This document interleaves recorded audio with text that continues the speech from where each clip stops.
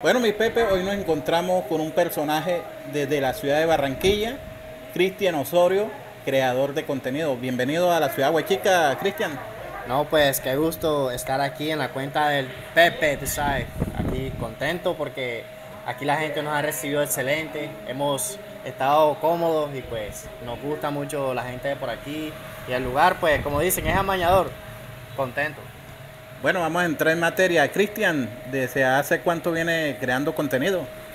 ¿De hace cuánto vengo creando contenido? Pues te, cuento. Mi primer video que monté en las redes sociales fue hace 5 años, en YouTube. Porque nosotros veíamos los contenidos que hacían las personas por ahí en, en México, en Estados Unidos, y siempre nos llamó la atención.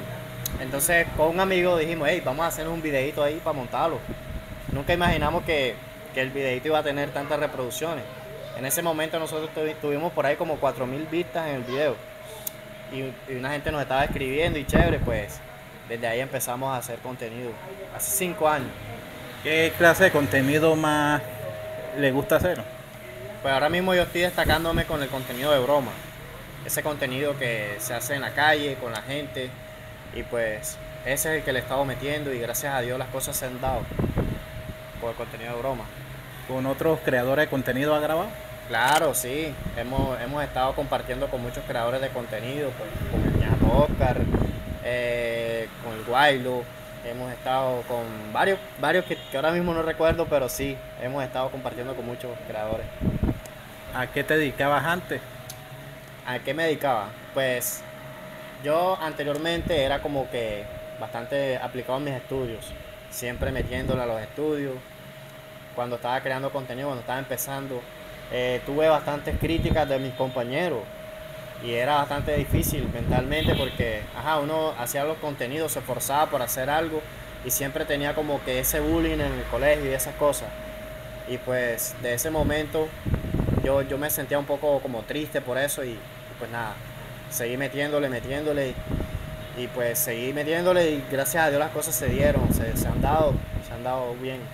Antes me dedicaba a los estudios, después que terminé los estudios empecé como que a, trabajar, a rebuscarme la vida, porque la verdad yo, yo vengo de familia humilde, ¿cierto? Y pues no tenemos la oportunidad a veces de, seguir estudiando una carrera tan profesional, pero sí empecé a trabajar y de esa manera yo buscaba el tiempito y me ganaba el guito y con eso me pagaba un poco los transportes de la universidad que empecé a estudiar.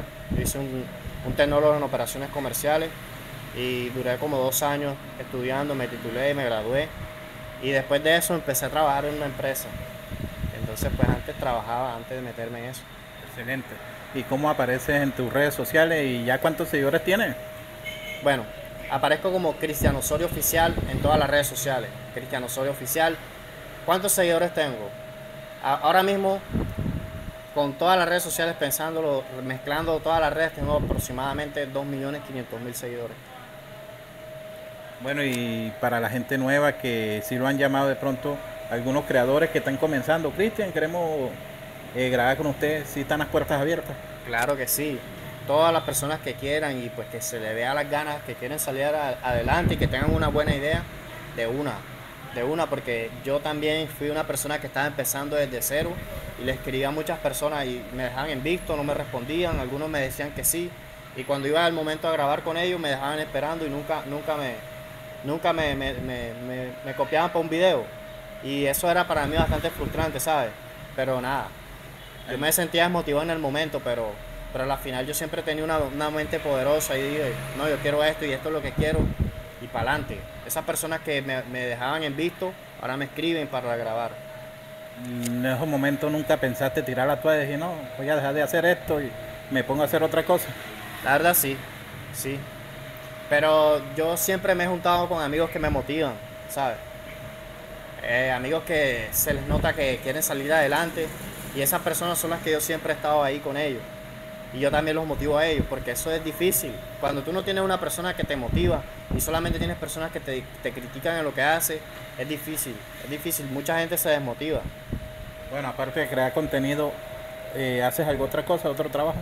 Crear contenido. Listo, Cristian, para despedirnos ahí, la invitación a, a todos sus seguidores y para todas las personas nuevas que están comenzando en, el mundo de crear contenido, ese mensaje positivo?